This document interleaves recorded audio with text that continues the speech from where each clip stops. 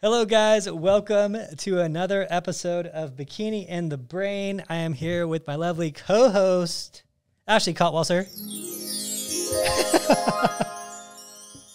Hello, everybody. I love that intro. It's the best. Do you like it? Yeah. What's yours? Mine, um, What, what sound describes you?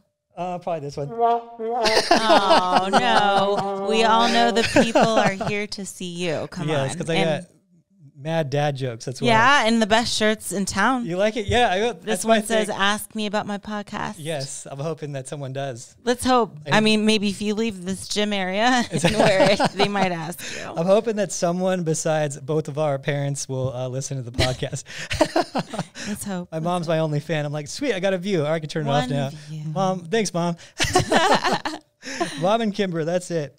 All right. So, what do we got today? What's on the docket? You know, I thought um, I thought we should discuss a frustrating thing that happens to a lot of competitors.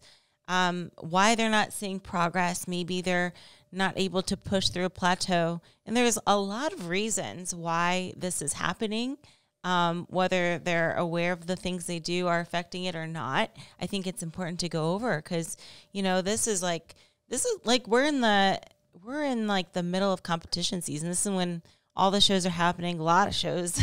there was three last weekend. Crazy um, last weekend. Yeah. So I think this is a, a perfect time to kind of reevaluate why some competitors aren't seeing the progress that they'd like to see. Yeah, for sure. And you know what? Actually, we should go into your last weekend too before we jump into the Oh. podcast. We both had rough weekends. Yeah. Go ahead. What happened?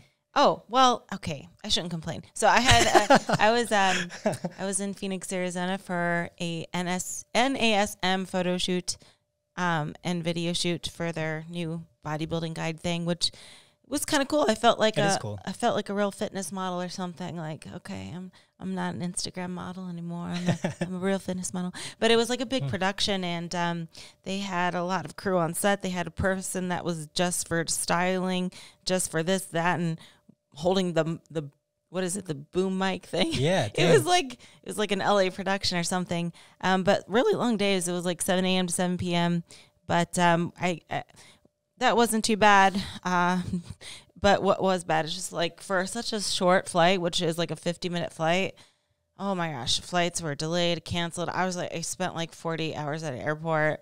I was sleeping like four hours a night since friday. And even last night four hours Which it was rough to get up this morning yeah, we can go into that with plateaus and stuff today too. You know, Yeah, people aren't getting probably, results. probably part of it. It it makes a makes a difference. It does. It Yeah. does. And why was your? Mine wasn't rough. It's just I didn't sleep much because well, one, um, I was supposed to go to Missouri with Kimber, right, and be at the. She's she's from a small town. She lives on a farm. I was supposed to go there, meet her parents, all that, but I didn't go because we had so many compet. Everyone jumped into the competitions, but everyone jumped in Friday, Saturday, and Sunday. Oh yeah, that's right. So it was like it was there was like no breaks, you know, no breaks and at all. there's the whole- no internet around there, yeah. Or Yeah. ru- the internet's rough. You have to like well, just depend. We just weren't sure how it would be, and you just can't not do check-ins. Right. It'd be days like, hey, why isn't my coach texting me back? Do I look that bad to where he's he doesn't even want to acknowledge my existence when I check in? What's going on? so it just like worked out. Yeah, it just worked out that way where there was a Friday pro show, Saturday pro show, Sunday pro show. So I'm up like, you know, for the first check in is like when they do their hair and makeup or whatever. So it's like 4 a.m., depending on where they're at, like 4 a.m., 5 a.m., like Friday, Saturday, Sunday. So usually it's pretty, usually there's not much to do the day of the show. I think that's important too for people to know. Like the day of the show, there's really not much you should, you're to do.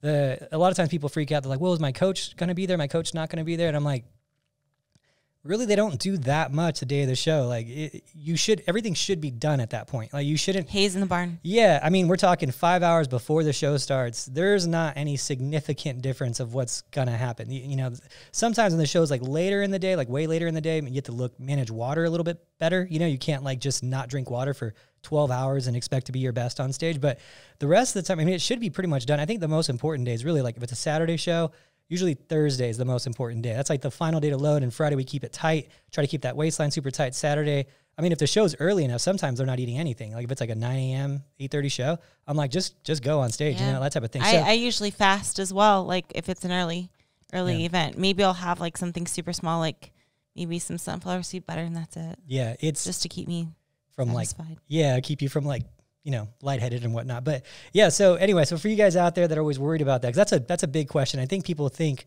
the day of the show is going to make this huge Like- difference. And I'm like, Like the like the difference between first place and tenth place would be like one rice cake. Yeah. What if that was it? What if it was that that intense? Like, oh man, if I just would have ate that one extra rice cake, I could Yeah. could have won the show. And you know what? you know what I'll get to a lot of, and I don't get it so much from my people because I kind of set them up for it, Yeah. But I get it from a lot of other people. So coaches out there, tell your athletes this because this is a thing, and athletes, you should listen to this because the next day after a show, um, if a girl doesn't, it's only if they don't win though. It's never if they win. But if a girl doesn't win, um, like they can get anywhere between second and twentieth place, right? But they're still gonna be, they're still gonna say this. They're gonna be, oh, I, you know, I was just flat, and then I went out and I had a burger, and I had this, and then the next day I was so much better. I was so much. I should have just done Oh. that. They always say that. I'm like, look, okay, here's the deal. When you go on stage, you're never going to be like 100% full. Like if you're if you're 100% full, it's only because you were shredded and it was okay to fill and spill. So there's this thing I do call fill and spill, where I'll get like if it's, if it's a smaller girl, and they need to have like every gram of muscle loaded with glycogen, I'll get them a little too lean. That way I can just load them with carbs like that last week. But that's if they're too small and I'm not worried about them spilling over, right? And I'll just fill and spill, fill and spill, you know, and just get them a little too lean that week and then just feed them like crazy. No car to just feed them. But um, that's the only time you're really going to be 100% full. Usually you're sacrificing a tiny bit of fullness for that conditioning. That's usually the trade, you know? And um, and I and so just so you know, like the next day after the show, especially because your stress is lower too, and you're gonna have lower water retention, you're usually gonna think to yourself, "Oh, I'm better." A lot of times you're paying for it on the waistline though, and you're a little more blurry, but you're fuller. Yeah, that's gonna be a that's gonna be like 99% of the time. Usually you're gonna be fuller the next day because you've eaten a bunch more, but you're usually softer. But you don't you won't see that the next day, you know. Right. And sometimes you get a little harder, but a lot of times it's because of stress. Like you're just not thinking about the show too, and you're just not holding any water at all. You know? Totally. And also to keep in mind, it's like, well, even if you did look better, like the chances of that happening versus playing it safe, I wouldn't. I wouldn't take those odds. I wouldn't risk it. Like maybe there's like a five percent chance like I would look better if I just had a burger and fries the night before the show. Um, just like you know, it doesn't usually work like that. I mean, sometimes, very rarely, it does, but me, I'm I'm a little more like oh conservative in that aspect. I, I I'd rather look 95 percent and play it safe than risk you know doing something crazy like that and then just looking even worse. Yeah, and the value of replicating it is huge too. Yeah. Because if we find something that works perfectly, we're like, whoa, that's it. We'll use that. Like, you know, it's it's never gonna be that easy where you just do the same thing over and over again. But at least you have a baseline. You know, Yeah. the problem with the burger and, and uh, fries thing too is that depending on what city you're at and what's available, it's going to be a huge variance in how many fries they gave you, how how much oil is in those fries, the thickness of the fries is going to have a difference of how much oil is absorbed in them. Uh, how big is the meat? How much salt did they put on it? Like it's like a whole. How big is the bun? There's like all these huge variances that are going to be. It's going to be hard to replicate. You know. So, um, so I'm a, I'm a fan of just keeping it simple, collecting data. Um, but I just for so, so you guys are out there, and you maybe if your coach isn't going to be there, you have an online coach. You know that's what we do too. Um, and they're not there. Just understand there is not that much that's going to happen the day of the show, um, in terms of like the coach. Like more often than not, when I'm backstage with like Ashley, we'll do a, we'll do a pump, which you can do on your own, and I'll look at her hair and make sure her suit's tight. like I've gotten, I'm like, well, I'm going to be useful in some capacity, so I need to do something here. So I like started getting really good at doing hair. Yeah, I've been you go. backstage cutting hair before at one I time. saw you. You know, I've I've gotten my skill sets pretty high, but it, I I I. I stopped it because it started turning into a thing. so I was like, okay, no more, no more Adam hairstylist. but but um, anyway, so yeah, that was that was the weekends. But I still got a good time. Everyone had really good showings, two pro debuts. They both they both did pretty good. Um, I was really happy with how they looked their pro debut. Heck yeah. Um, and uh, you know, Anya did good. She got a first call out at um in, Go in Anya. Texas. Yeah, so that was good. Um, but yeah, and that's another example too of like stresses and whatnot too, and how that can make a difference. Um, because she stresses before shows, and she'll, you know, she talked about it on her podcast and stuff too. Gets a little bit like anxious going into shows, and she gets a tiny bit watery like that day, and it's like, you know, I think just the more experience that someone has, the the less stress they're going to have, the less water retention they're going to have, things like that. Um, but also, I wanted to talk about that because it goes into the reason why people aren't. One of the reasons why people aren't getting results, like we talked about, and one of them is you know stress and sleep. A huge one. I often ponder how much better I would be if I could sleep. Well, you know, but disclaimer, because I, I people like to be helpful, you know, and believe me, I've tried it all. Yeah. She so really funny. has. Like, listen, because I'll We've get I'll get messages. I'll get messages like, "Have you have you tried melatonin?" And I'll be like, "No, what is mel- melatonin? I, what is this substance? I have never heard of. This. Like What four is- years ago What is this melatonin you speak of? No, believe me, I've tried it. Literally, I've it Literally all of it. And the thing is, you know, some of these things are helpful to to to help you fall asleep. For me, um, but I can't stay asleep. So I don't really have issues falling asleep. Like I'm not one, I, I mean, I can't really take naps. So I don't fall asleep like that easily and I can't fall asleep sitting up, but I can fall asleep nine out of 10. That's fine. But staying asleep, that's tough. That is tough. Yeah. I wake up at like two or three a.m. without an alarm, and I wake up with so much energy, like "Whew, I'm ready to go. It's like almost like I had a shot of pre-workout in my dreams or something. Like I just took my shaker of pre-workout in my dreams and just chugged it, and then I wake up with like, whoa, I'm ready to get the day started, and then I like crash at noon. But I, woke up once. You were at my house in Denver, and I woke up once, and I had all these messages. I had like I had like three messages uh, from people at the gym, like at Twenty Four Hour Fitness. They were like, like, hey, um, I saw Ashley at the gym this morning. Uh, she's in town or whatever, right? And I was like, she's like, I was. One girl was like, yeah, I wanted to say hi, but she was working out.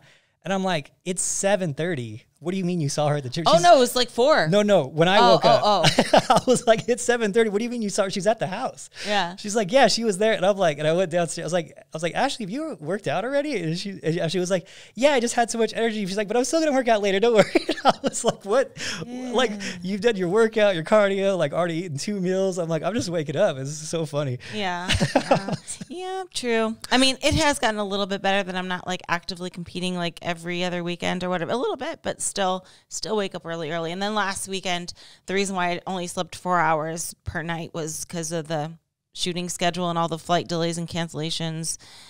So yeah, so hopefully, hopefully, crossing my fingers, I can get some sleep tonight. But Yeah. yeah. That that is back to the point. That is a big factor It of is. weight loss. You know, your body's trying to recover when you sleep. You know, um, that's I guess when you do your most recovery, true or false. Yeah, I mean your your best recovery is then you know during during that time.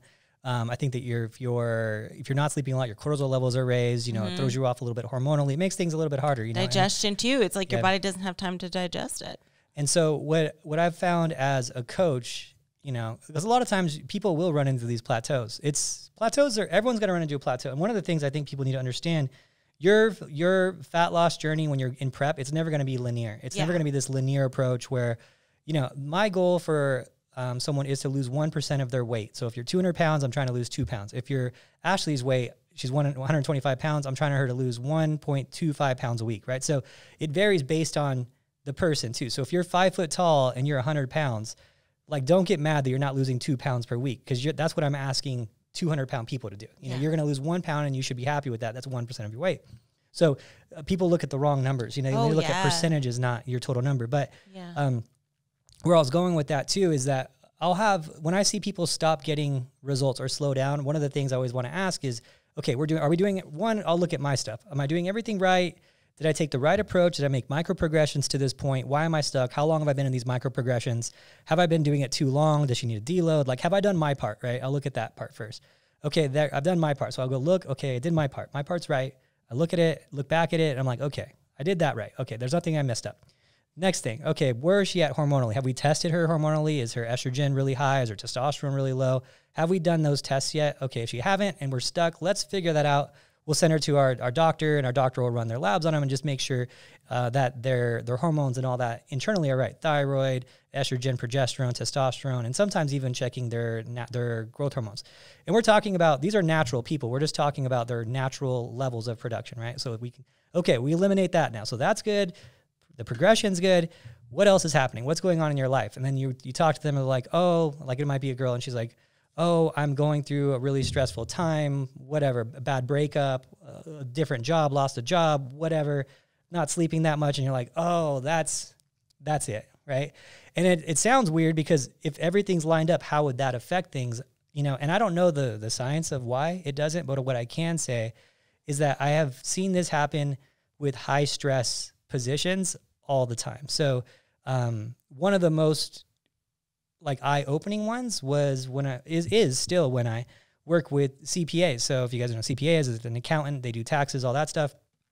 Come March time, April time, when these people have to file all their taxes in the US, like to like finish it, almost always their their their progress stops in March and April. And it's not that they're not working out still, it's that they're working so many more hours than they're used to to try to get these taxes done for all their people during before the deadline that they're so stressed that the results just like freeze up. And it's so crazy. And then when that date hits, when April 16th hits, I think it's April 15th is a cutoff, like that week, all of a sudden, boom, results. And I'm like, what just happened? Like you just huge results. And it's just like their body was like, Yeah, I wonder if it's a stress or they're putting most of their focus and energy on their work. Like, for example, if you've got so many um, tasks to do for work, you're probably not going to have a free mind to kind of concentrate on your lifts. So that's where the intensity comes in, right? With your cardio and your lifts. Like, let's say you were doing the same amount of cardio and lifting the same as you were, and then you stopped seeing results and some life event like that happened or the work got crazy.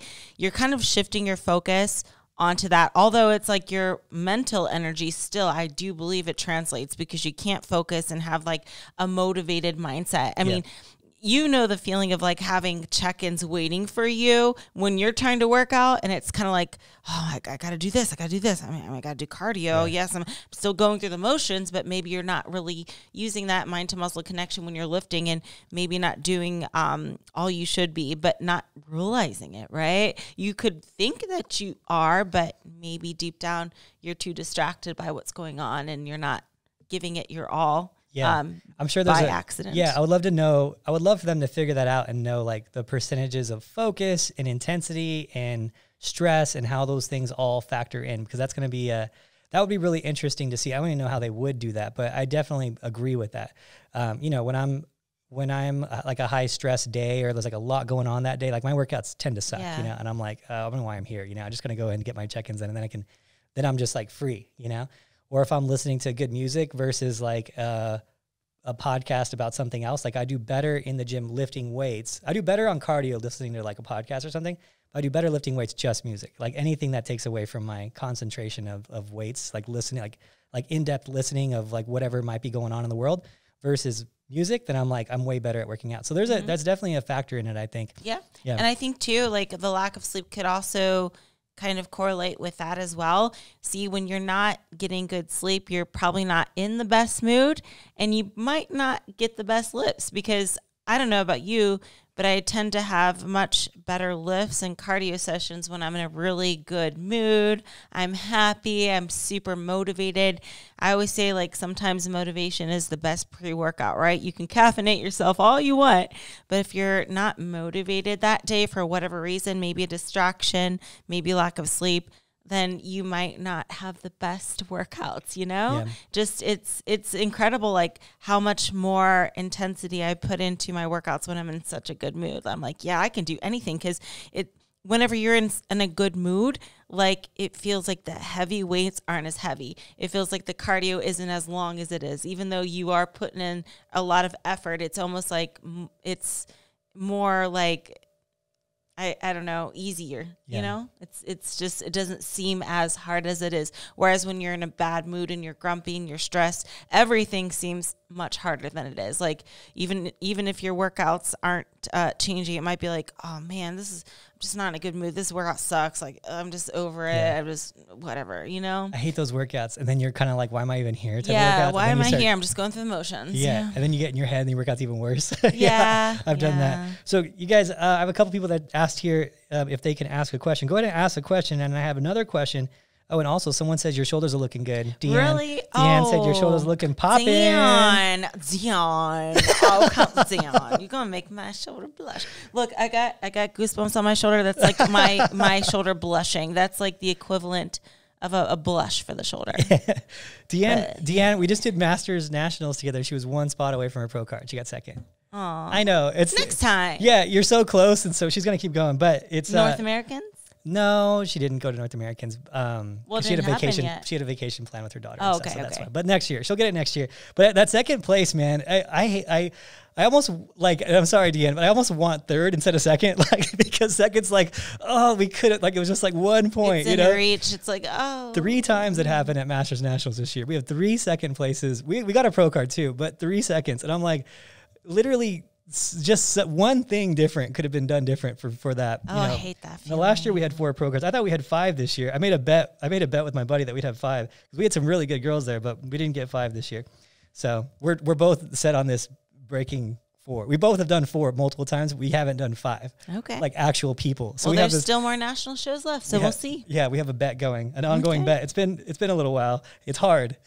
Oh, It's it is. It's harder every year. super hard. Five is like five is hard. Um, especially because we're both not like huge. You know, we're both pretty like smaller. So anyway, uh, one of the questions came in. Size, like in, in numbers of. Yeah, how many people we have? Okay, Yeah. because we're not talking about like.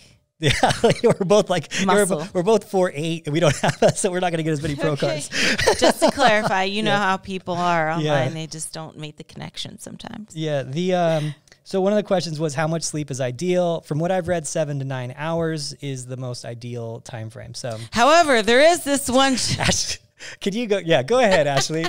Okay, Ashley is like she tries to find research to justify her lack I of sleep. She's I'm like, I think I'm just one of these people. I'm trying to rationalize. So apparently, there is this one gene that a few people possess um, that um, they don't require as much sleep, and I'm hoping I have it. and they can still function. I don't know. I honestly, I just saw it. I just saw it in a documentary once, but I, I don't know. I don't know how true it is to be honest. I'm just using that as an excuse, and and you know, ignorance is bliss. Maybe I just don't research it more than I should, but I just I just want to convince myself. Okay. Okay, here's another question we got. Do you have any tips for training success for when a girl is on her period? Do you adjust carbs or anything? Oh, no, no, not really. I'm sorry I didn't read that question. I'll answer if I would. Um, no, honestly, no. Just get through the week. Uh, you're going to hold water. Most most girls will hold water. And then I would say just get through the week. Um, it does throw off your check-ins. That's the only hard part about it. So like when we're coaching and someone has like huge water fluctuation, I have one client that gains five pounds every time she's on her period. Jeez. It's a lot. Yeah. So that week, we lose that week of data like every week. It's basically, hey, keep it the same this week. Let's see what happens next week. Cause I mean, it's like, there's just the data so far off. The waistline's bloated, the weight gain is crazy. So it's like, how do you use that data? And you just hope it doesn't happen the week of your show. You know what I mean? So I just say get through that week. And then another question Ashley, do you have a boyfriend? She does. And he's awesome, I do. dude. I do. He's kind of camera shy, so you don't hear much of him. But yeah, He's super hot. he is. He's a, like one of the best looking guys I've ever met in my life. I, I like the pretty ones. You know. He's super pretty. Yeah, he's like, he's like uncomfortably pretty. Like when you see him, I'm like, how come I wasn't made that way? Oh, you know, so good. everyone in life has their their pluses like, and a, minuses. he's like a you know? Brazilian Ken doll. What do you call him? What, do- what is? Brazil? What do they call Ken in Brazil? I don't know. I you know, I should know more Portuguese than I do. Um, it's actually quite sad, but I picked up a few words along the way. Yeah. Um, such as um, oh, my the There's a- Brazilian listeners are gonna love Yeah, this one. Sobrancelha. I hope I pronounced that right. Guess what that is? From Brazil? No. It's it's Portuguese. yeah, I know what it means from Brazil. Is that No, what, no, that no, was- no. What does it mean? Eyebrow. Oh yeah. Sobrancelha. Sobrancelha. Arbory. Tree. Bom dia. Good day. Bom dia. No, bom dia is good day. Bom dia is good morning or good morning. Well, this is uh, Ta- Tamer and Tarek are gonna really love you trying. Yeah. yeah, totally. I, I can um, There's such a huge bring me as audience. the like- bring me as the MC in Brazil. You Yeah. know, I, I'm one of their Brazil shows, so I know like four words. So I know more Spanish than I do. I was trying. I was trying to learn Brazilian for a little while. It's Portuguese. Oh yeah, Portuguese. I should know that because I bought the stupid app, right?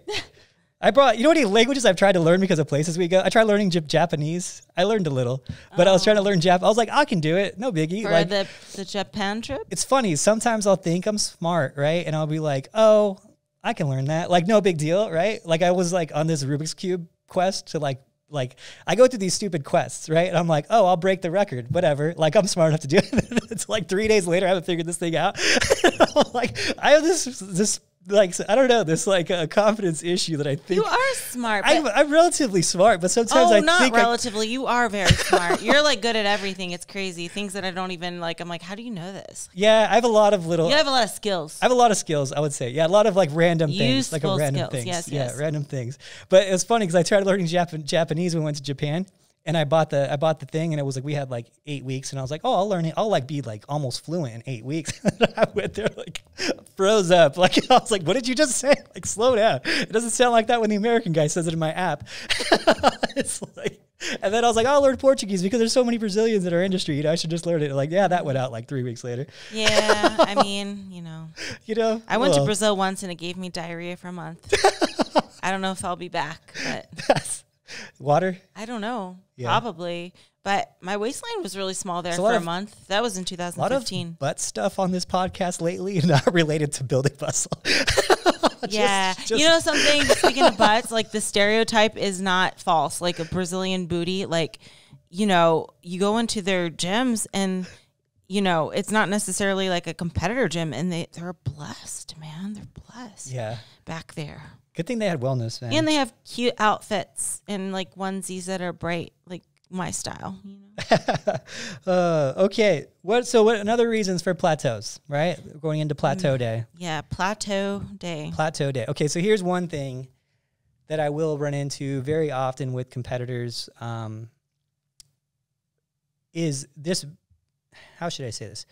Sometimes when you're in the gym and you're working really hard, and you get these competitors that are like they have this pride behind how much they work out. Yeah. And they'll be like, I work out three hours a day. I work out three hours a day. And they'll like post about it. And it's cool. I'm glad that you are like really into your workouts. I think that's awesome that you're super dedicated. Um, but the problem is, is you can beat yourself up to the point where you'll slow down or stop getting results. And you can't, like, your results aren't happening in the gym, they're happening out of the gym. You're creating a stimulus in the gym. Your results are happening out of the gym. But what people forget to think about is that you're working more than the muscular system when you're in the gym. Okay, so when you're in the gym, you're working three different systems: your muscular system, your nervous system, and your skeletal system. So it's not just muscle. Muscle can pretty much ha- handle anything. I mean, it's very rare that your muscle is going to be like, okay, it's too much. Like it's it's pretty rare. Your muscle can usually just handle it, recover pretty quickly. It's not going to, you know, it's it's generally the the the last thing to to fail on. Well, I guess second. to- I guess the skeletal system will be second to last. Or uh, muscle will be second to last. So, but your nervous system, it takes a beating, you know, when you're doing this, and that's where things get really get beat up. And sometimes, you know, you doing a lot of working out, or you being the people that are like never take a day off, and then you're you're stopping getting results because you're addicted to the workout, which is great because I'm addicted to the workout too. I'm not saying I'm above it at all. I I mess up on that all the time. Like there'll be months where I don't miss a day of working out. Whoa. And yeah, I just I feel like you know I just feel like I feel kind of like sloppy if I don't work out. I don't know. I just feel fatter, even though I might, I might I'm probably not. You know, so um, you know, so I just I'll go to the gym even if it's a crappy workout. I've been better about it lately, but it's still something I've. I mean, I've, I've struggled with it since I was like a little kid. Actually, you know what's crazy is I want I don't know what the record is, but I'm probably pretty close. I worked out every day from when I was 13 till I was 21. I never missed a single day from 13 to 21. Jeez. Yeah, I was just fully addicted to it. Like since I, I was just, I remember, I remember like I would get anxiety, like extreme anxiety about when like December hit, not because it was Christmas, but because the gym was going to be closed. It was the only day of the year. So I'd like try to figure out a way to come up with a solution where I could work out on Christmas Day. right? And then what's funny is uh, late, even later on in life, when I was like 28 or whatever, I found a, a friend who let me into his gym at like at that age because he was like a local guy who had a small gym and he would let me access in his gym on Christmas Day. Like I'd still freak out about it, but so I was in my garage lifting my mom's chairs. Like I'd always make it where it was like a shoulder day because I could make a. My mom had these chairs that had these little like grooves in them where you could pull back the chair, you know, like a little groove. So I use those as like shoulder presses and like lateral raises like just be in the garage on Christmas Day, like just lifting chairs, like totally normal. I'm not addicted. So, but there's a lot of people out there who have that have that issue, and um, you can work against yourself that way. And occasionally, you got to do this thing where it's where you do a deload. Okay, where basically you kind of resensitize yourself to exercise again. Okay, because you can't just keep progressing. So bodybuilding is is you know, I'm gonna I'll I'll go into what bodybuilding, how simple it is, right? So bodybuilding is is simple as this. And if you guys are watch, listening to the podcast, I'm doing something with my hands, so sorry. We have it on YouTube too, but but basically, Hands. hands, jazz hands. I need to bring the small Jazz hands. hands. Was that one Napoleon Dynamite? How's that go? There's this? yeah, the bird thing. You want to hear? So okay, before I go into that, the best posing routine I've ever seen in my life. Uh, Brittany, uh, gosh, I got to put her. What's her? Is it Brittany Bennett? She got married. I remember her last name now. Um, she was one of my competitors, like uh, t- 2000. Gosh, 2012, 13, maybe 14. Anyway, she started putting on a lot of muscle. And I was like, I think you should do women's physique, right? So she was like, okay. It was like five days before the show. I'm like, you should do figure and women's physique. She's like, all right. So she ended up winning the overall in women's physique that day, like learning how to pose like five days earlier. Like it was crazy. It was just a super rush. And she needs a she needs a song for her music. And she's a super goofy girl. Like uh, I think it's like Coach Muscle Nugget on Instagram. I think it's what it is. I gotta Oh. look. I gotta. hopefully I'm right on that. Um, but she's she's just a goofy chick. She's super fun. Um, and she's like, "Hey, can you? I don't know have a way to get the song on a CD. Can you burn it for me so I can get it to them for the song?" And I was like, "Yeah." She's like, "Use the Napoleon Dynamite uh, music song, and I'm just gonna do my routine like the Napoleon Dynamite dance, like when it was like the vote for Pedro or whatever it was, like the voting thing of like that his dance thing." I was like, "Are you sure?" She's like, "Yeah, I'll make it work. Don't worry."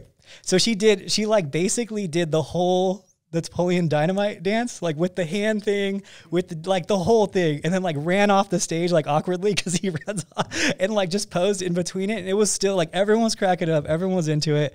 Best women's physique routine I've ever seen. I mean, I don't think it'd be like you should do it on like an Olympian stage or anything, but but it was so funny. I wish I could find that somewhere. Um, you know, I'm gonna try to find it and put it on my stories. I'm gonna message her. But anyway, that being said. Um, all right, bodybuilding. Bodybuilding is simple. All right, so um, bodybuilding, you start here. This is your baseline, right? So here's your baseline. You create a stimulus in the gym. So whether that's, you know, working out really hard one day, going five pounds harder than the last time, you know, I always say, you know, do five more pounds than the last time or do one more rep than the last time. Create a stimulus. Work a little bit harder than last time. That's all you got to do. You create a stimulus. And then from there, so you your baseline, your stimulus, in between when your body adapts to that new stimulus is results. Okay, that's how you get those results baseline, stimulus, in between, body's adapting, that's the results. Okay, eventually you got to keep doing it. You got to keep going. New stimulus, new stimulus, new stimulus, right? Every time you're in the gym. Eventually you're climbing so many stairs, you're at the top of the staircase. There's, there's no stairs left, right? So what do you do? Well, you got to go down the stairs, right? You keep your muscle, you deload, you just take a nice walk down the stairs. And what does that mean? Well, you got to take a week off of working out, a few days off working out, and basically resensitize yourself to exercise to some capacity. You're not going to resensitize yourself to all all the way down. You can't just walk all the way down the staircase and be like, all right, I'm starting fresh again. I'm going to do three reps and get a result. But you can resensitize yourself. You can let your nervous system recover. You let your body recover, your joints recover. Remember, you're working the skeletal system, the nervous system too. They have to recover and they take longer than the muscular system. So, um, that's that's basically at some point if you're reaching that plateau it might be a good idea for you to take a deload if you've worked to that point of extreme progressions and and understand though it does take a while for some people to get there if you're one of these people who work out really, really hard, then it's going to be more often than not. If you're someone like Ashley who's worked out for a very long period of time, like since I left the womb. Yeah. Remember yeah. a hamstring curled out of my mom's, yeah, that's right. you know. I, I, that was my first That was her first set. That was my first first set. set. She had a she had a vein. Uh, so, so with uh, with with that, you know, you're going to have a longer period of time. I've been working out since I was a kid, so for me to have to go to that point, I'm not personally right now. I'm not working out hard enough where I even feel a deload is justified. Like I because I've been through bodybuilding, like actual bodybuilding, for about ten years. So when I was working out then and what my body's used to is totally different than what I'm doing to it now. You know, I I wouldn't even be able to handle what I was doing then. You know, so um, so for me, I'm yeah, probably doesn't make too much sense to have to ju- to justify a deload longer than a couple days because I'm not working out that hard. If you're a newer competitor and you're working, you go from your first year of working out and you're you're watching Ashley's workouts and you're like, I'm going to do those. You're probably going to need to deload a lot faster than Ashley would. So it's definitely person dependent and experience dependent. We call it a workout age. So you have your like diet age, which is how many years accumulated you've been dieting, which might have some long term um, long term ramifications to how you're dieting. So if you've always dieted really, really hard, don't expect to diet really, really easy all of a sudden and then and you get the same results because your body's going to be a little bit more adapted and used to it perform. Same thing with working out. If you worked out for 20 years, yeah, don't expect to gain 20 pounds of muscle the next year. Like it's your body's just gone through that already. You know, you've you've lost that window, unfortunately. So um, that's what we call your workout age. So that's going to do go go along with your deloads and all that stuff too. Fascinating stuff. Fascinating stuff. Fascinating stuff. So, yeah, all what you just said. Sometimes it's okay to take a little break. And I think mentally, just like you are, people are so reluctant to take a little bit of time off because they feel like they're going to ruin all their gains. But it's not the case. Sometimes you'll find that once they do like a deload and give their body a little break, sometimes you'll see like a unexpected check in. Then you're like, whoa, you made some progress this week by basically just taking it easy. And that's kind of like the approach we do sometimes with like peak week and stuff too, right? Yeah. It's kind of like a mini deload in a way. We do a lot less uh, activity during peak week and even more calories sometimes, and uh, we get tighter and leaner, and it's it's an incredible thing. So uh, you got to earn it though, guys. You can't just Yeah. be taking that deload and be like, well, Oh, you it's know, time for a deload. I'm just gonna take a deload because uh, my friend's birthday party is coming up and she's going out. So, you know, I do I do try to plan the deloads. Um, like what'll happen sometimes with my clients, I'll be like, all right, let's we should do a deload. And then a lot of times they'll reply back and they'll be like, "Oh, can I wait like three weeks because I, I have a vacation planned? I would love for my vacation to just be my deload." And I'm like, "Okay, we can wait Yeah, three planned weeks." deloads are that's good. that's a cool that when it works out like that, it's like perfect. You get to yeah, just fully relax. and and not have any guilt. yeah, yeah. not have to worry about exercising when you're away. I've actually had, and, and a lot of times I'll have people lose body fat during deloads, or more. I think more lose water weight and whatnot from the like inflammation dying down. Mm-hmm. Um, but a lot of times, for some reason, um, I'll get people who are really active on their deloads. Like when it when it comes to, they're like, "Oh, I'm going to Disneyland with my family. I'll do it then." And I'm like, "All right." And they're getting so many steps, and they end up like losing losing weight. And I'm like, "All right, whatever." You know, but it's it's you're not you're not uh, working out extra, so you're just being active. So no big deal. It's not going to hurt you. Totally. And I wanted to actually backtrack, and you said two key things that I have already listed here about uh, why aren't you seeing the progress. And sometimes maybe you are progressing, but not necessarily, it, it's not necessarily showing within your weight and check ins. For example, um, inflammation you just touched upon. So, inflammation can happen like, let's say you started this new workout program and you're killing it and you're working so hard and you know you are. You're getting sore, you're exhausted, but when you check in the next week, your measurements and weight goes up and maybe you feel a little like softer and that's not necessarily because you didn't make progress. It's just your body's trying to like recover itself from this new stimulus. So sometimes that'll happen and a lot of people get frustrated because they're like, "How did I work this hard and I didn't see any progress? In fact, I got worse and I don't get it. Like I didn't cheat, blah blah blah." And it's it's a pretty common thing and most of the time you'll see that whenever somebody starts like a new plan because they're not used to working out that intensely or in that certain way. I, I totally agree on that, and especially with new plans, especially like these like high high level ones. You know Mm-hmm. We do. So, um, like your your shoulder one you did the other day, that would have been a, one of them that would cause that. Oh, the, so much. I did the newbie fat. I'm still sore. My Yeah. measurements went up this week. Oh, yeah? I already checked in, but That's I don't awesome. know. Maybe you know they're probably still inflamed, and they're still sore. I can't Yeah. believe it. I haven't been we gotta sore do in years. more newbie. new yeah, fits, I got to do it on these shoulders, man. Yeah, I, I want to do it like. So we have a week. we have a newbie new fit here, and we have two people who do it. So Steve, who has a master's degree in kinesiology, and then Sam, who does them as well. And he's and so now I'm gonna we're gonna Ashley's gonna learn the newbie and get huge glutes, like Oh, yeah. widen the doors here. Definitely Of, and shoulders, but my Yeah. shoulders need more than like glutes. but, you know. yeah. So, uh, but people love it. Yeah. And the, the purpose of the newbie is basically to it's electric. It's a electrodes, right that are on you. You're creating a stimulus, and you're trying to recruit muscle fiber and wake up muscle fiber that maybe you haven't been using. Um, and also get a better stimulus from the workouts, the muscle fibers that you are using, and create uh, basically creates more mo- more motor units to contract. That's the whole point of it. Yeah. And so yeah, And you know what I think is cool about that is like in the workout, you don't have to do as many sets, as many reps and stuff. And you go lighter usually because it's kind of, you know, making the workout more intense itself. But I also think that it's pretty cool that, like, how do I explain it?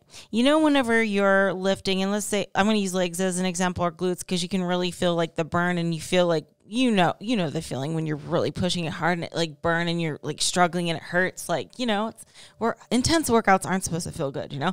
Um, but it's almost like with the newbie since it's like giving the little pulses it's like distracting to where you don't realize that your glutes are on fire. It's like a distraction so it doesn't hurt as much as a get it. usual workout if that makes sense Yeah. it's like a distraction so i kind of like that too but i'm excited to try it again that you can push harder because you're not feeling it as much. Okay. yeah, totally. And then um, also, I wanted to go into a little bit about holding water too. So sometimes when you do check in, you might have made the progress, but for whatever reason, you're holding water. And maybe that is due to the sleep thing. Or it could be like maybe, like, let's say one day you just wanted to drink a jar of pickle juice.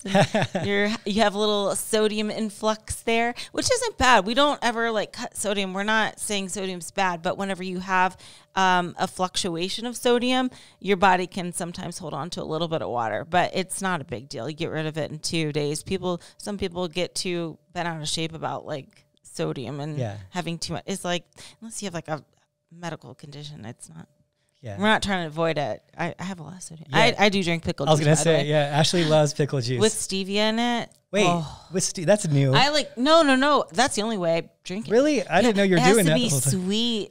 Ashley has juice. this stevia problem. She is really Oh, loves yeah. the, her stuff is so, like she's built up a tolerance, I think, to it, and it's Oh, so yeah. sweet. I like everything really sweet. Yeah, even I, even things that aren't supposed to be sweet, I sweeten it. I sweeten everything, even if like it's chicken and broccoli, I'll sweeten it.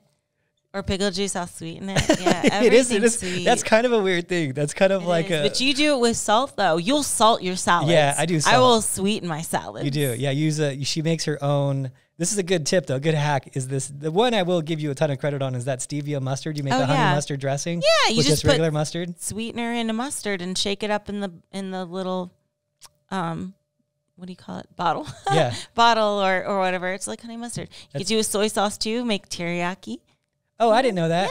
Yeah, they have that Stevie stevia stuff. If you're in Denver, It's not the same thickness, but yeah. yeah, if you're in Denver, there's okay. If you're in Denver or anywhere in Colorado, I think where else is Tokyo Joe's? I think it might be in California too now or Texas. I hope it comes to Vegas. Yeah, that'd Come be to sweet. Vegas, He said it was too the markets too. I talked to I actually I already asked him. I asked Larry. Yeah, Larry's the owner. He's a cool, he's a cool guy. He said yeah. He's like we already teriyaki boys. Already ma- um, teriyaki madness and teriyaki boy. I like those two. Yeah, they're not. T- Tokyo Joe's blows them out of the water for sure. But they have this stuff called steviaki. And one time he sent me like a. Remember he sent me those like two like gallons of it. He was like, "Yeah, I'll send you some." I was thinking he's gonna send me like a pint. He sent me like two. It was like a two years worth of steviaki. Oh. But that stuff's like it's so good. So if you if you're in Colorado and you need a hack, uh, get some steviaki from Tokyo Joe's. They sell it and it's like I want to say it's like a bunch of it. I want to say it's like four tablespoons. It's like 40 grams of carbs. And It is. It'll change your prep. It is so good. So anyway, shout out to to Larry from. Shout Tokyo shout out. Joe's. Anyway, I got another question came in here, and uh, from H M Erdman on our on Instagram. He says, "Does low T hinder weight loss? If they have low T, do you have them get on replacement shots?" Okay, so low T definitely will hinder results. Definitely will hinder results. Um, I've had it where I got someone's labs tested, they had low T, they got on T, and then the next thing you know, everything changed and the results started flying by. So one, I will never make those recommendations for someone because one, I need to see their labs on top of it. I do I do know how to review labs. I talk to people about labs. I talk to our doctors about the labs um, and review them. But the doctors have the right of way on that type of thing. So I'll never be like, hey, you should take this. But I do talk to doctors like, this is where they should probably be at. Um, this is what's going on with them. And I kind of do those consults. Um, we use a guy named David, and he, I'm on the phone with him like every day. So um, talking about labs and whatnot, things like that. So yes, I think that especially in bodybuilding, in bikini building, that's something that if you're if you're getting great results and you're young and everything's fine, then yeah, you probably don't have any issues at all. But if something's slow and there's a problem, that's usually when I'll say, hey, you know what, let's just check this and let's just check that box and make sure it's not. You know, Ashley had an issue a few years back where her we found out her thyroid was super low, um, and yeah, that that um, that changed things when she got just to normal levels. Now we're not going past normal levels; we're just getting you know basically replacing what the body isn't producing on its own. So yeah, uh, definitely. If especially if you're like I'll say anyone past. I started I started doing TRT when I was 31. I want to say, and then I was um, I was really low on test, and it totally changes your your world. It changes your mood, your energy, um, your recovery in the gym. I mean, oh, just a lot. It's really really helpful. So yeah, if you're in that, if that's a possibility for you, get that checked out. What else we got? So I have a few more reasons. Okay. So, firstly, you know, sometimes people get a little loosey goosey with weighing their food, and um, maybe they're not really mm, accurately assessing how many empty calories they're putting in. For example, like, you know, maybe you could be just adding a little calories here and there, maybe putting a little creamer in your coffee, but not really thinking about it, whether it be intentional or unintentional. Sometimes calories go unaccounted for and they eventually add up. And I've I've heard a few cases as well where like maybe maybe more so of like a new competitor, but maybe they were drinking like a coffee and that was a coffee that they had all the time. It's what they always order from Starbucks, but they didn't really put two and two together that the coffee had sugar in it and they were just drinking like 500 calories of sugar the whole time. You know what I'm saying? Sometimes that does happen. Although, you know, you should know better. it, like I said, that's mostly a newbie competitor thing. Yeah. And they're not really realizing, like, oh, yeah, the, I always got this McDonald's iced coffee. I, I- you know, I didn't realize they use actually sugar in it. And that's the issue sometimes when you do go to like restaurants or order um, coffees is, and I get really paranoid about it sometimes when I'm close to a show. Like, and, and I'll have like, Adam, can you taste us this this diet coke? Because I'm like, that would suck if I drank like this this coke that I thought was diet and it was actually full sugar. Like if it doesn't have like a label on it, right? You never know. Sometimes with coffee too, when you add add the the sugar free, you know, syrups maybe they're not paying attention and they just do the full sugar. Yeah. So that can happen, you know, and condiments too, that can happen. Maybe they, they're a fa- fan of ketchup and not really thinking much of it, but putting a lot of ketchup on their food every day. And it's like the regular ketchup, perhaps. And, you know, like I mentioned, those little calories, they eventually add up. They do. So although it might not seem like a big deal at the moment, they add up and they can hinder your progress. And oftentimes, whenever they make the discovery, like, oh, well, maybe I should just, you know, eliminate that, then they can start seeing more results. So, yeah. you know, the closer you get to show, the stricter you should be with that kind of stuff. Yeah. And the sneaky calories tend to be like the worst ones too. Because yeah. there's like sneaky creams and in, in, like, uh, in coffees, it's sneaky sugars. It's, it's never like, oh, I just, sneaky protein. Like remember you know, when like, we went to, to Tokyo, Japan, and you oh, were having, you were like, I on. loved. You're like, I love this coffee. So disappointing because they do the calorie. Um, it was all in Japanese. Yeah. Yeah, it funny. So okay, I'll go over the story. They had these like they were like a dollar. I don't know what the conversion was. It was like a what do they call it over there? It was a yen. I can't even yen? remember. Yeah, uh, Japanese yen, yen. So I don't we were, know. I know Chinese. It was like a yen, but it was like a dollar yen or whatever. So it was like super cheap if I'm doing my math right again, I totally forget. Anyway, it was like super cheap, these little glass bottles, and I was like, "This coffee's great. It's only got 10 calories. It was like 10 calories or 15 I think it was calories. like 45 actually. was it? I I don't know. I don't know. It was you know it was more. Than, it had to be more yeah, than 10 it because it was because when you did the math, you're like, hey, you know these have. So I was thinking like it had 40 whatever 40 calories in the whole thing or 45. And I was like, oh, it's just that's right. It was like 45. And I was like, it's just milk and milk and coffee. It's really good. And then uh, like Ashley looked at it. It was all in Japanese, so I didn't know. She's like, you know, there's like five servings per thing. Right? I was drinking like three of them a day. Oh. I was like, oh my gosh, I'm drinking like 800 calories or whatever from. Just a waste from, of calories. Yeah. So it happens. yeah, I mean, at least you had a good excuse. It was in a different language, right? Yeah. What but if I knew the whole time and I was just like, uh, I was but like, yeah, I mean, it, it, that happens, and um, I think mostly it happens when there isn't a label, but yeah. you know, if the label's a different language. Well, in, a, in America, something that size would be one serving, right? Over there, it was all in grams. It was yeah, like, they do the grams. Yeah, they it was do, like, like you have to do math. Yeah, it was like 500 grams in the bottle, but it was 100 grams per serving, and then it was all in Japanese, so I didn't know. And I was like, and then Ashley like showed it, and I was like, "How did you even read that?" But thank you. And I then think I was, like even if I if I'm correct, even like Canada does the grams, and then you have to do the math. Oh yeah, I'm I'm I could be wrong, we but do. I think we're the only people that don't do it like that. It gives us like the like you we're used to certain things. You know what's funny is that all the labels I've seen in different countries, I get a lot of labels from different countries from clients sending to me. I will say that ours are the easiest to read, but we're the fattest people. Why is that? Or maybe it's like, easiest to read because we're not used to anybody else's method. Maybe. Just like, you know, same thing with weight, like when we uh, pounds and stone or uh, kilograms. Kilograms, kilograms stone. Their stone is a thing too. Stone's stone. really hard. Stone's really. I have a I have a stone client. That's a hard one. Stone. stone client. She's rock hard. Oh, da, da. she doesn't complain much though. That's huh? my that's my thing. no, that was a good show. Like that it? was a good show. So, so the uh, yeah no stone is like there's like barely any stone for pound. It's like or it's like barely like someone will be like seven stone. It's like like their oh, whole weight. Like it's it's tiny. So um yeah, but no, the labels are a lot harder in different countries from what I'm used to. It's all con- there's a lot of math involved. Ours are like that's how many calories you are, and then our, our American people are like, well, it doesn't matter. I'm eating it anyway, like yeah. regardless of yeah. it. You know, so what else we got on there, Ashley? Why aren't we getting results? So I find that a lot of times the caloric output is uh, they they overestimate their caloric output, right? So I I think this is most common in the wintertime when people aren't moving around as much, but something is to be said, to, you know, getting in your NEAT, right? So in the summertime, we're walking around more um, versus the wintertime when we park like two feet from the store door because mm-hmm. we don't want to get cold and walk outside and it gets dark at 5 p.m. So, you know, this also happens when people switch jobs, right? Maybe they were at a job where they were on their feet all day, like as a waitress, like for a long, long time. And then they maybe quit that job or something else and they're not getting that same activity as they usually would. And they be, might be wondering, like, well, I'm eating the same, I'm doing all the cardio I should be doing, but why is this not?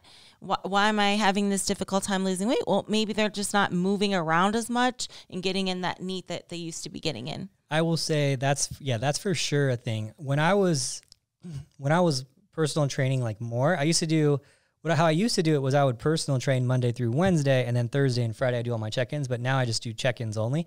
Um, it's much harder for me to stay lean than it was then. Like I'm eating less calories now and having a harder time staying lean than I was then. You know, I had to have more diet weeks and things like that. Now, back then it was just like I'd stay lean pretty much all the time. I was just moving all the time. You know, Yeah. lifting weights for people, putting them back. Like you're just always busy. You know, and I was a pretty busy trainer too. I was doing like ten sessions a day.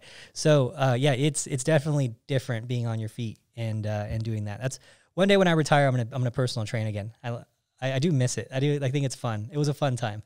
Yeah. One of these days, Those were the days. Yeah. yeah, it's it probably take it probably take me like a month to get used to the to be able to be at that volume again and like actually be on my feet and carrying around weights. I bet you I'd uh-huh. be like super tired. Yeah. Yeah, because I was a machine back then. It was funny. You just you're just lifting weights all day long. You're just grabbing weights, 45s, and my clients. You know, a lot of my clients never left. They'd just be with me like for a decade. They just wouldn't leave, and so they would be. It was great. We're like best friends, and then you're just grabbing weights. They're getting stronger and stronger. And I'm like, damn, carrying these like hundred pound dumbbells for them. Like you're just carrying weights all the time. That was, Right. that was a, you burn a lot of calories, man. That was a good. That was a fun.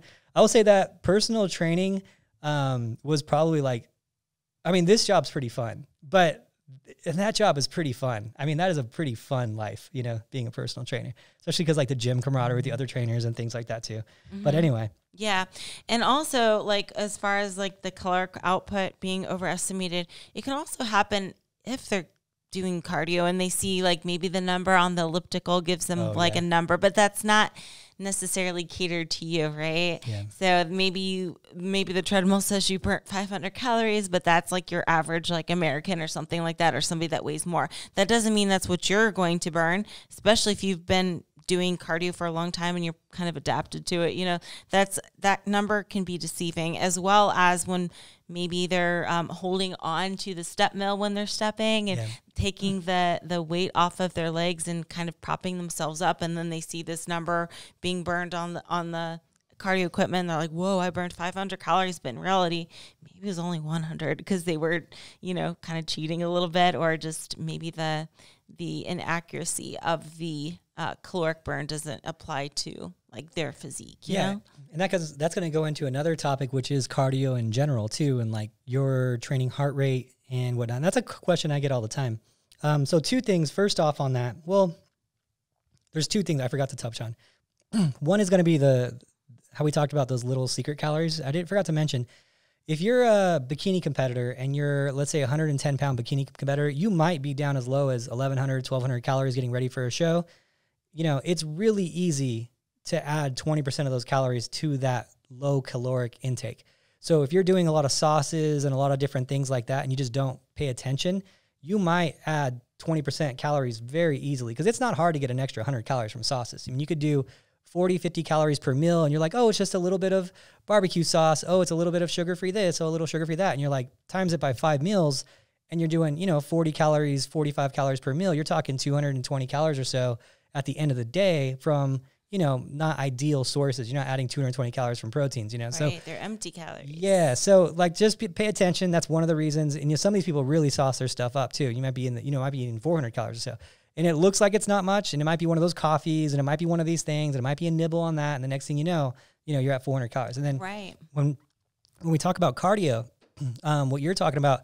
So if someone's exhausted, okay, so let's say you're in week one of a 16 week prep and you're kicking butt on cardio, you're like, I'm gonna kill this prep, and you have all this stored energy still, and you have a lot of body fat to lose, you have all your glycogen still full.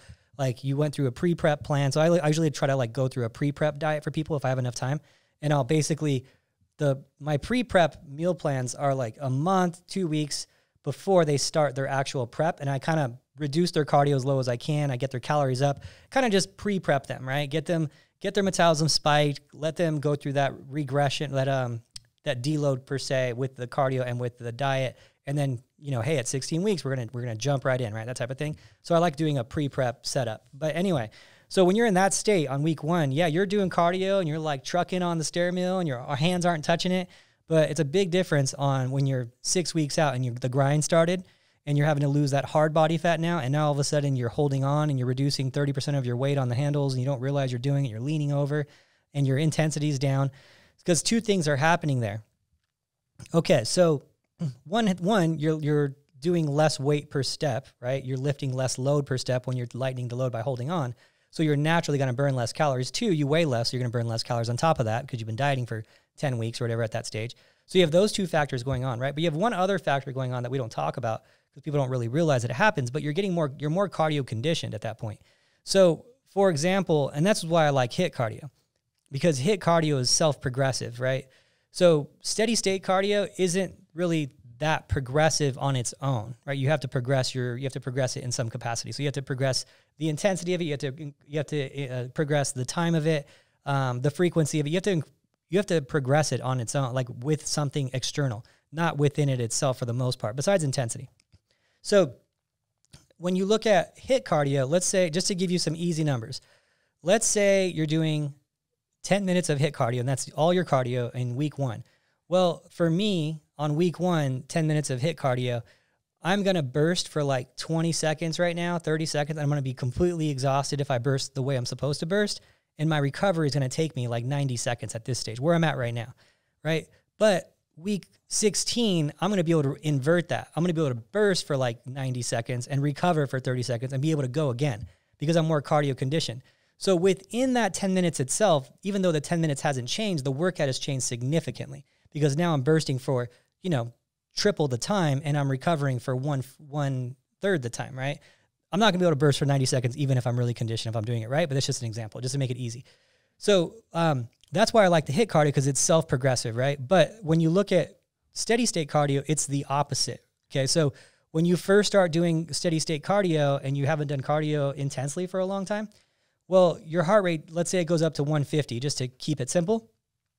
Well, if you continue at that same pace, you're like, oh, I'm at level eight on the stairs, level 10 on the stairs. If you continue at that same, same pace, that 150 heart rate, which in week one was initially, you know, pretty taxing on your body, is now at 130. So you've actually regressed your intensity, not on purpose, but your body has gotten more cardio conditioned. So it's now easier for you to do the same motions that you were doing on week one. So it's actually naturally de- like regressive, right, on how you're doing your cardio. So you need to keep up with that. And that's why you're generally adding more time to it. So if you're doing all three things, yeah, it can slow down. If you're, if you're, um, you know, you weigh less, right? Because you're down 15 pounds in your prep. Now you weigh less. Now you're holding on because you're tired. Now your heart rate is is lower when you're doing the same cardio that you were doing before. Yes, of course you're going to have to increase your cardio when you're doing that. But if you're able to maintain on the progression and you're able to maintain and get your heart rate, keep your heart rate up at 150, keep your intensity going, um, progress your intensity, not hold on to the handle. So you probably don't need to do that much more cardio at the end of prep because you're still maintaining a stimulus of some type, right? So those that's going to be another reason why you're maybe not getting the results at the end because you're not maintaining that, keeping up on that thing that you know no one really talks about or thinks about that logically. So um, now one thing I will say because I'm going to get 100 questions, what heart rate should I be at? That's what I always get like from clients okay, I don't really care what heart rate you should be at. I don't really care like what your heart rate is. Obviously, if it's healthy, there's this method called the Karvonen uh, formula, which is basically uh, 220 minus your age times an intensity. So um, for me, for example, I'd be 220 minus 20 years old because I'm young and 20. And so it'd be like 200 would be like my max heart rate. These are simple numbers. And then you'd be at like 85% of that for like a high intensity. So 85 uh, times two would be 170 would be like my intensity if I was 20 years old based on Karvonen, right? But there's a lot of factors that go into that. You know, it's going to be easier for me to get to 170 right now because I'm not cardio conditioned, right? Um, if later on, if I'm a marathon runner for a hobby, getting that person to 170, good luck. You're not going to, it's going to be, you're going to have to have them running from a bear to get them at 170. So, um, so it's going to be different for different people. So that's why I don't, I say, I don't even worry, worry about the heart rate. I just want you to be working at an intensity level that is intense to you um, generally at that level that's past walking but before jogging. So like that that awkward speed where it's like you're moving but you're not jogging type of thing. And that's kind of where I like to keep people at. And then um, I don't really focus so much on the heart rate. There's this thing called rate of perceived exertion (RPE), which is basically um, you know how how you're how much you're exerting. So I mean, in a, in a simple way of describing it, if you're not able to talk at all when you're doing cardio, you're at like 100% exertion right? So you shouldn't, you know, that's going to be hard to maintain. If you're able to carry a full conversation, you could probably go harder than that. So it's kind of that awkward stage where you kind of can't really talk fully, but you can still talk, but you wouldn't have like a conversation. So yeah, so that's kind of RPE. So that's what I'll kind of use more than heart rates. I don't really like heart rate because of that that factor. So Heck yeah. Heck there you yeah. go. That was a long one, huh? Oh yeah. So um, but I just uh, so we have just a few more uh, bullet points on here to discuss very quickly because I got an eye appointment, you know. um, but um, We should probably I make this the last one since it's already. Oh, okay. So, um, I just wanted to add on to that. You can also adapt to calorie amount. So, just because you were uh, steadily losing a weight at 1800 calories through your whole prep doesn't mean it's always going to stay that way.